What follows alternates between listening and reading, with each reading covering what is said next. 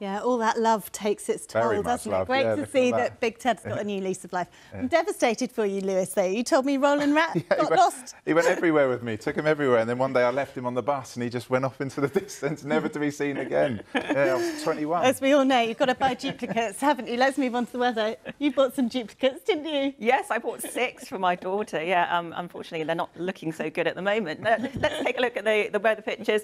Quite a lot of cloud today, photographed in Newtown on the Isle of Wight. But look at this, a BBC bauble. I've never seen one of those before. That photograph was taken in Fareham. So through the course of today, we've had a good deal of clouds, some outbreaks of patchy rain. We'll continue to see that patchy rain as we head through the course of this evening and overnight tonight, with a band of heavier rain arriving during the early hours of the morning. So tomorrow there will be some rain. It will clear first thing in the morning. Some brightness will develop in some areas, but not for everyone. Now overnight tonight, patchy drizzle initially. There is a brisk southwesterly breeze. Then we see that band of rain start to push in from the west.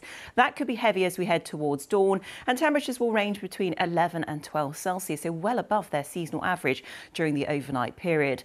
That band of rain will slowly clear the southeastern corner tomorrow morning. Once it does, a fair amount of cloud will follow it, but some brighter skies will develop through tomorrow afternoon. So maybe some sunshine, late sunshine on offer before the sun sets quite quickly. We're looking at highs tomorrow of 11 to 13 Celsius. Temperatures are still above their seasonal average.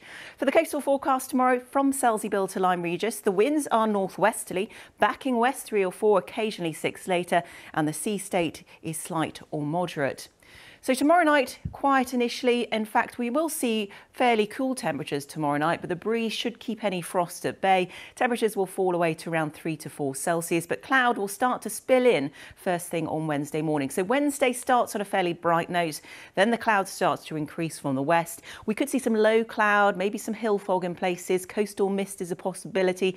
A lot of cloud during the day, limited brightness. Patchy drizzle can't be ruled out as well. So we are going to see a good deal of cloud during the course of this week, but there will be some bright or sunny spells. Maybe some brightness around on Thursday. The odd shower is a possibility. It's a better day on Friday, maybe after a cloudy start. Sunny spells breaking through, but temperatures are still above their seasonal average. Into the weekend, Saturday, maybe some patchy rain. That's Christmas Eve on Sunday. We will see some patchy rain as well. But at the moment, Christmas Day should be mainly dry in the morning. There is the potential for some rain to move in during the afternoon, but that's still a few days off and things can change in that time. Joe. No snow for us then. Thanks No. very much, Alexis. well, that's all from us uh, this evening. Thanks very much for your company.